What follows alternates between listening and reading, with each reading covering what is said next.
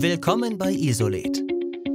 Wir präsentieren Ihnen unser LED-Trockenbauprofil Schattenfuge 40 und 80 und zeigen Ihnen, wie Sie es einfach, präzise und sauber direkt in die Konstruktion einer Zwischendecke mit einer Schattenfuge einbauen können. Das Profil aus eluxiertem Aluminium wird in einer Standardlänge von 2 Metern geliefert. Es ist ein vollwertiges Lichtmodul und kann mit einem Flexband mit einer maximalen Breite von 11 mm bestückt werden. Das Leuchtenprofil wird in das Trockenbaukonzept integriert, indem als erstes das Aluprofil auf die Wand gesetzt und dann festgeschraubt wird. Um die Gipsplatte und das Leuchtenprofil mit der Trägerkonstruktion zu verschrauben, ist es wichtig, vor dem Eindrehen der Schrauben Löcher vorzubohren. Um Risse an der Stoßfuge zu vermeiden, ist auf der anderen Seite des Aluprofils ein Gewebeband zur optimalen Haftung anzubringen. Bevor die Spachtelmasse auf die Wand aufgetragen wird, ist es notwendig, auf der einen Seite zum Schutz des Alu-Leuchtenprofils ein breites Klebeband aufzukleben.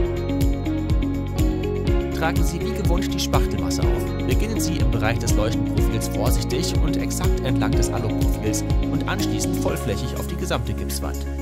Entfernen Sie mit einem feinkörnigen Schleifpapier abstehende Spachtelmasse. Glätten Sie die Kanten und Nahtstellen und streichen Sie den sichtbaren Bereich des Trockenbauleuchtenprofils und die Wand in der gewünschten Farbe.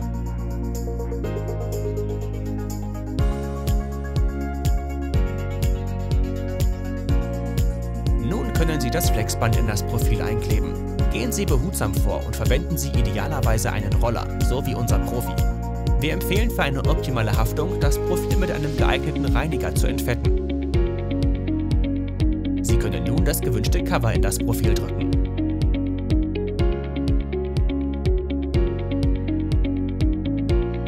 Genießen Sie das perfekte Ergebnis, ganzheitliche LED-Lichtlösungen mit flexiblen Lichtlinien.